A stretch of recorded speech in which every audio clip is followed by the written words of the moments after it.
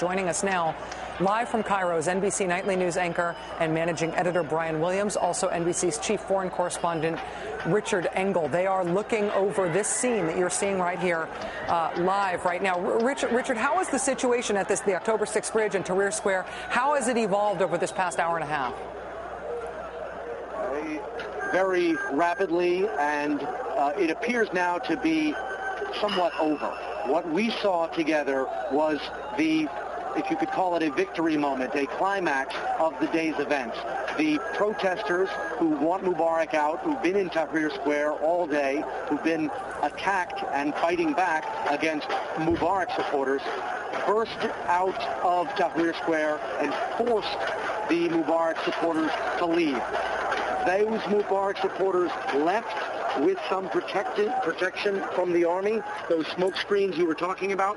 And then after that, we saw what was perhaps the most chaotic scenes of the day as bands from both sides were chasing each other through the streets as the, this anger was spilling out across Cairo. There were vigilantes stopping cars, beating people we saw on camera. Some were set on fire. They were letting other, pushing other cars uh, to the edge of the road, also setting them on fire. The Army firing intense warning shots. There have been other gunshots from uh, it's unclear who's been firing them that we've heard from, from rifles in several different locations, like that one. The, um, what we're seeing now, the crowds are thinner. They are not apparently chasing each other around as much, but it is not over. Uh, sometimes small crowds can be even more dangerous than big ones. They're mobile, they're close to each other, not in the camera shot right now, but to this side, to the east, if you come around, you can see there is yet another small Molotov cocktail battle with, I guess you could call these the stragglers, the last people who are here. And if you're in a big fight like this, it is a very dangerous place to be the last person.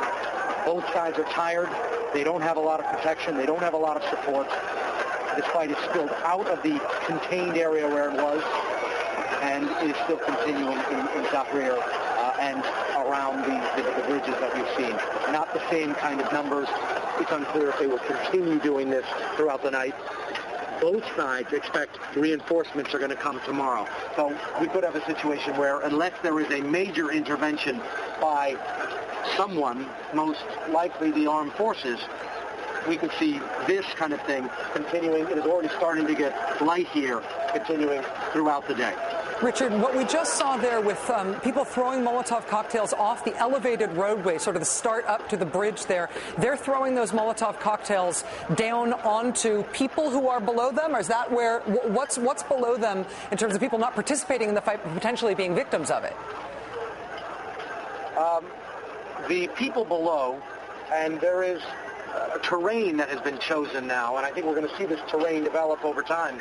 The people below, and there's a lot more Molotov cocktails being fired right now, are the protesters. They're the ones who are in Tahrir Square, penned into Tahrir Square at one stage today, and the people who have chosen the high ground have been Mubarak supporters. The, they are firing down with these Molotov cocktails to try and land them and, and have them explode in a, in a bottle of fire. These are glass bottles filled with gasoline right on the protesters. I've seen them hit a few over the last several hours, and the other protesters put them to the ground, rolled them around, and tried to put the fire out. We're being told by hospital officials most of the injuries uh, so far have been stones and bricks to the head and burns. Is one side in this fight more tactically efficient, more professional at fighting than the other side? I think not really. They uh, came. They came in the the uh, the anti-government, the the pro-Mubarak demonstrators, the ones who came and charged the protesters this morning, had a degree of sophistication of their movement. They sealed off the entrances to the square. They arrived in unison. They had a clear purpose. They were clearly led by a single military-style commander. Now there are not enough of them to have that have that tactical advantage. So it's really just groups throwing Molotov cocktails onto other groups throwing Molotov cocktails back. The real fear, I think, is that there will be an escalation of force. There will be new weapons that will be brought into this fight today. People are clever, to, to use an unusual word in this circumstance. They will be creative. And we're already seeing people using slings to try and launch the Molotov cocktails further and further. There's an increased amount of gunfire that is clearly not being fired by the military. And what will happen tomorrow? Will they decide to employ different kind of weapons? Or, or tomorrow, it's already tomorrow, uh, as this day gets, gets, uh, gets lighter and lighter. Again, what you are seeing here are live images from downtown Cairo. Richard Engel explaining to us what we are seeing. We believe that these are pro-Mubarak forces up on higher ground, uh, over to, over to Tahrir Square on the October 6th, near the, on and near the October 6th bridge, throwing Molotov cocktails down uh, to what they see as the other side of the protests um, below. Molotov cocktails, of course, are just bottles filled with gasoline. You stuff a rag into them, set the rag on fire, and when you throw them, the, the bottle shatters, creates essentially a fire firebomb. It's a crude, old, and effective tactic. Brian Williams, the managing editor of NBC's Nightly News, is there on scene with Richard Engel right now. Brian, do you see like, feel like you are seeing a qualitative escalation of violence, that this is a qualitatively different type of fighting that may require some sort of different response? Uh, well, today it just it just blew up. You had uh, these uh, again they've been called pro-democracy demonstrators who occupied the square. Uh, I saw an interview with an American college student last night who was doing a semester abroad in another country and came here to be part of this. Uh, uh, the word happening was used. Came here to bear witness to what people assumed going into this morning might be a popular uprising that might just result in a new government uh, in Egypt. Um, then this bizarre series of events. We see a parade of protesters go by. We see the first Hosni Mubarak photos and posters and real numbers of his supporters. They were few and far between this week leading up to this morning men on horseback, men on camels, and then we find out it was that leading edge that went right into the breach um, at, at peril to their own uh, safety, we later learned, and started this. And you're hearing this, this din, background noise, is this banging of these makeshift, uh, it looks like half-inch steel, less, uh, street level. And uh, the chanting has been going on all night long by both sides. While Richard was talking, and someone down there is also using a laser pointer. That's been going on all night.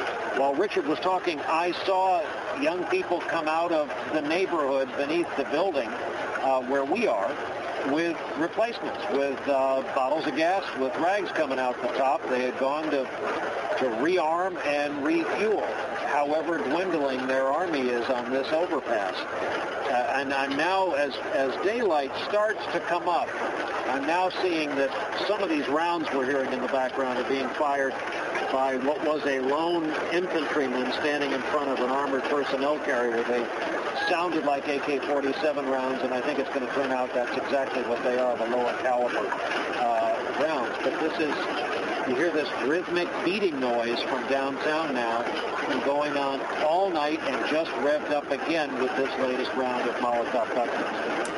With the Molotov cocktails, Brian, are those, um, are they, uh, uh, Richard was describing being able to see them being thrown back and forth. It seems like this may be a weapon of choice of both sides, or is this is something that it really is one, it, it's the pro-Mubarak side and not the anti-Mubarak side? No, it's, it's become both sides. To the hmm. earlier question, is one side better equipped?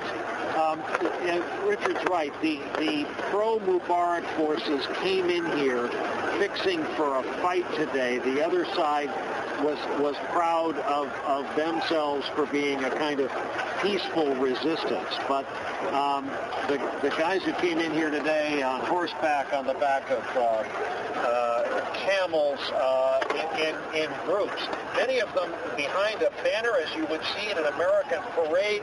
Some of them had uh, loudspeaker vehicles as part of their gathering, and they were all, come to find out, uh, headed for this square. They all passed in front of our morning uh, camera location before we were able to connect the dots, put the pieces together, and figure out this is kind of a, a, a counter demonstration. One of the things that we have been trying to figure out as we've covered this story for the past week is how far Egypt resonates in the rest of the Arab world, in the rest of the Muslim world, and in the rest of the world. We've seen protesters uh, in Egypt explicitly calling out Tunisia as their inspiration. Tunisia, a country where the situation is far from settled, but where the image of the revolution is one that was a people powered revolution, one that was not led by organized opposition movements, but was led by, in a sense, a populist uprising. Does these, do these images that we're seeing tonight affect the way that Egypt will or won't resonate in other countries around the world? Well, these these images, part of uh, part and parcel of the last few days, and we'll get Richard in here uh, as well. Think of Iran. Think of the last attempted citizens uprising there. Think of Yemen. Think of the Saudis. Think of what the King of Jordan did yesterday. And, um, you know, the, the term uh, prairie fire has been used. That's a, a very convenient overstatement and maybe wishful thinking on the part of some people in this region who may not be thinking about, okay, then what next? Uh, but Richard, specifically starting in Tunisia. This is a movement that began in Tunisia, Rachel, and where it will go, this image is one that is designed not just to frighten Egyptians, but to send a message across the region that if people rise up against their governments, the governments will descend and the streets will descend into chaos. And what's so troubling about this is this was clearly started today or provoked today by an organized group that started a fight. They came in charging in on literally on horses to start a fight. Will that escalate and deep, deep more deeply among Egyptian people? These people, if you're going to call them the goon squads, also have families. They also have neighbors. They also have friends. The people who got hurt today, six, seven hundred, maybe the number is higher. Some of the protest groups are saying a thousand people injured. Egyptians have big families.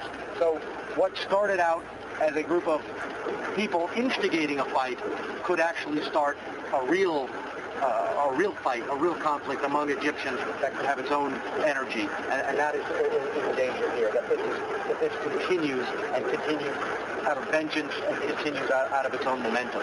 Richard, are you saying that this this chaos, this violence, is in essence a strategic victory for Mubarak? Is is this his strategy for surviving this revolution and staying in power?